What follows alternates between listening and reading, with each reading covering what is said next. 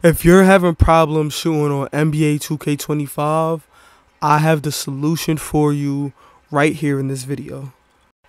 Yo, what's going on YouTube? Welcome back to another motherfucking banger. Now look, I have been ISOing since NBA 2K25 dropped.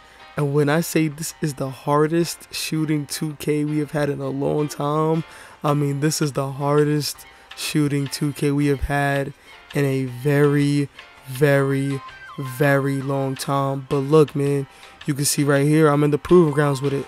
For me, I am performing though. I am getting used to the shooting. And this is on a 6-7 point guard build, which a lot of people don't use. But I have been using this 6-7. I made it a few days after drop. I made my 6-6 first. And I jacked the 6-6. But the 6-7, I feel like, is the tools destroyer, man.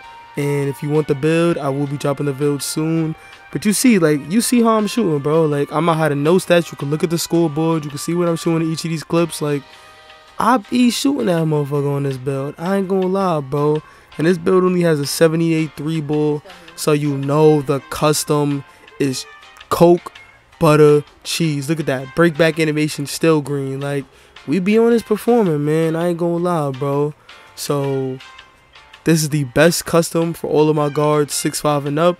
I do not have a six foot four or smaller build just yet, but I will be making one soon. And when I make a six foot four smaller guard, y'all will have the jump shot for that build as well. And enough said, man. Comment down below what other videos you want to see, what other tutorials you want. Like, subscribe, and follow my Twitch. We going live almost every day. Lay niggas, bro. Let's get into the jump shot. Alright, so now let's get straight into the jump shot. You see the jump shot name right there. Let's go straight into creator.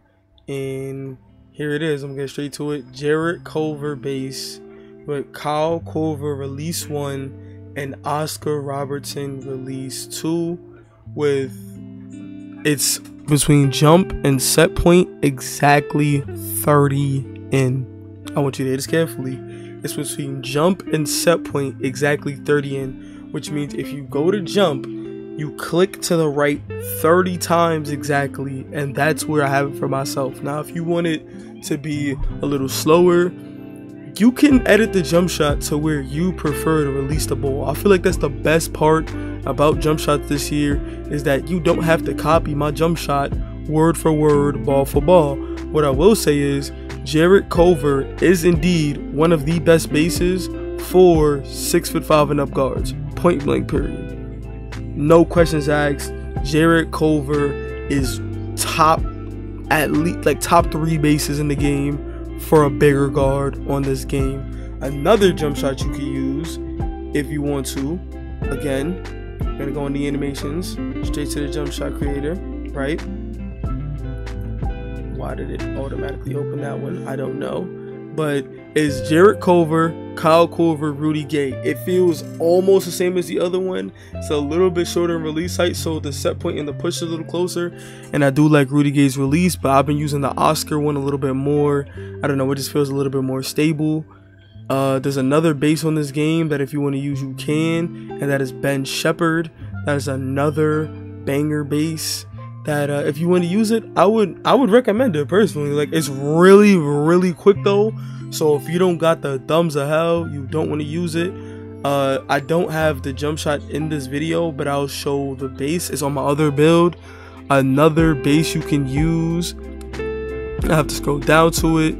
It is Isaiah Collier. It is a really really good base. It's like Ben Sheppard, but smoother if that makes sense. Like like, let me show you with the jump shot. You see, like, it's like Ben Sheppard, but a little smoother and a little bit slower. So if you want to slow down your release a little bit so it's not super quick and it's a little more stable, you definitely could use this base right here, man. I ain't gonna lie. And if you want to tweak it to make it faster, look, this all you gotta do. Just move it a little more over, get some faster release. I feel like the A release speed is just fine. Trust me, it is still fast. That is still a great jump shot, but if you just want to use mine, this is the jumper right here. Once again, copied on everything. It's exactly 30 into jump between jump and set point, max release speed 75 Kyle Korver, 25 Oscar Robertson, and take this jump shot and go crazy, man. And I ain't gonna lie, that's it for the jump shot, man. What I will say is, I do have a few more shooting tips for y'all. And uh, the first one is, you need to learn your release cue. No matter what you put your shooting on, you need to learn your release cue. The point in your player's jump shot where you release the ball so that way it goes in the rim. And the reason for that is the green window on this game, and it's confirmed by 2K Labs, it does move. But the green window is always, always at the same part of your animation. So you'll get a different animation where the green window's in a different spot. But if you know your animation, it'll be chicken, which is why I'm kind of glad that uh, they allowed you to customize how far into jump, set point, push, release that your jump shot is, because then you could create your own release cue that's comfortable to you. Make sure you do that. Even if you take my jump shot, customize it to your liking. Make it fit how you play.